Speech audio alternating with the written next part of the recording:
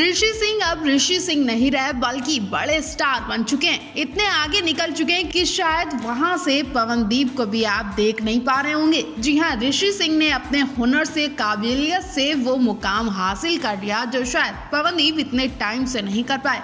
ऐसा हम नहीं, बल्कि इस वीडियो के कमेंट्स बता रहे हैं जिसमें ऋषि सिंह का सामना प्रोड्यूसर करण जौहर से हुआ। करण जौहर ने खुद कहा कि ऋषि सिंह से एक रिक्वेस्ट करता हूँ कि वो हमारे शो के गेस्ट बने। मतलब करण जौहर शायद अपने शो कॉफ़ी विद करण में ऋषि सिंह को गेस्ट के तौर पर बुलाएँगे। और करण जौहर जो कह देते हैं, वो करते भी हैं। और हो सकता है कि यहीं से ऋषि सिंह को बॉलीवुड का रास्ता दिख जाए, क्योंकि करण जौहर ऋषि सिंह की मदद कर सकते हैं। उनका सब सपना पूरा कर सकते हैं। और करण जौहर तो बॉलीवुड के बादशाह कहे जाते हैं। अगर ऐसा हुआ तो ऋषि सिंह पवनदीप से बहुत आगे चले जाएँगे, क्योंकि ऋषि सिंह को सीधे बॉलीवुड में जाने का मौका मिलेगा और बड़ा ब्रेक भी मिल सकता है, जो अब तक पवनदीप को नहीं मिला। वही आपको बता दे, ऋषि सिंह को करण जौहर से पहले और भी कई ऑफर्स मिल चुके हैं। फ़िल्मों के भी ऑफ़र मिल चुके हैं। मतलब इस शो से निकलने के बाद ऋषि सिंह को बड़ी फ़िल्म में भी आप देख सकते हैं। अगर ऐसा हुआ तो ऋषि सिंह की किस्मत खुल गई है और ऋषि के संग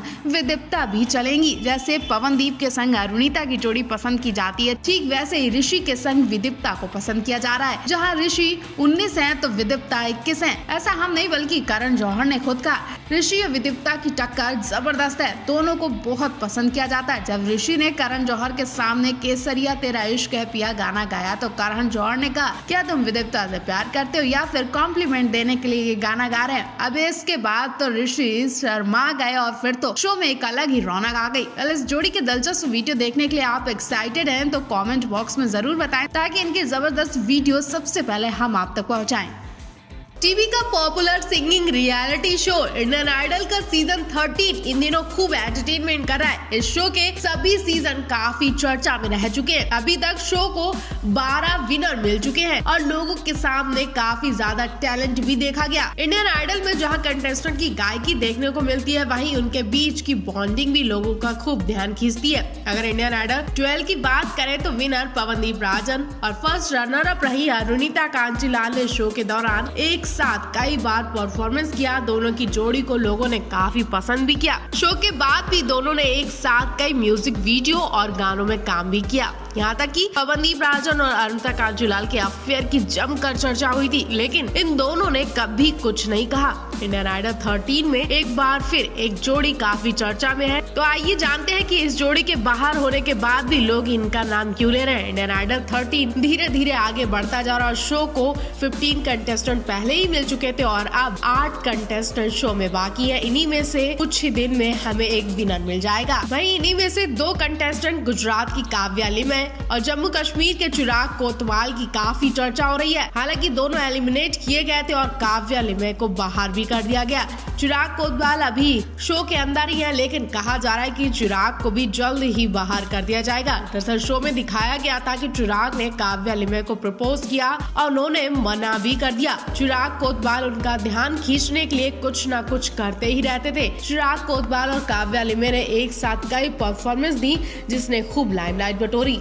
और जजेस के साथ दर्शकों का भी खूब एंटरटेनमेंट हुआ। इन दोनों को लेकर शो के होस्ट आदित्य नारायण से लेकर जज हिमेश रेशमिया, नेहा कक्कर और विशाल ददलानी भी खूब हँसी मज़ाक करते नज़र आए थे। अब देखने वाली बात ये होगी कि काव्या के न होने पर चिराग का क्या हाल किया जाएगा? क्योंकि काव्या के शो से आउट होने के बाद काव्या ने शो को लेकर जो खुलासे किए हैं, वो सुनकर हर किसी के होश उड़ गए। काव्या ने बताया कि ये सब शो की वजह से करवाया गया था, बल्कि उनके और चिराग के बीच ऐसा कुछ भी नहीं है। तो ऐसे में क्या पवनदीप अरुणिता से भी ऐसा ही कुछ करवाया गया था? क्योंकि पवनदीप अरुणिता आज भी वैसी ही दोस्ती रखते हैं। एक दूसरे के बारे में कुछ भी कहते भी नहीं और आज भी एक दूसरे के साथ ही रहते हैं। इंडियन आइडल 12 में जब पवनदीप राजन और अनंता कांचूलाल के अफेयर की चर्चा आई थी, तब लोगों का कहना था कि मेकर्स टीआरपी के लिए ऐसा कर रहे हैं। फ़िलहाल जो भी हो, लेकिन दोनों की जोड़ी को खूब पसंद किया गया था। और आज भी अक्सर इनकी चर्चा होती रहती है। आज भी दोनों अपना रिश्ता, दोस्ती का बताते हैं। वेल फैंस तो इन्हें एक साथ शादी के बंधन में देखना चाहते हैं। आप इस बारे में क्या कहना चाहेंगे? कमेंट बॉक्स में ज़रूर बताएँ।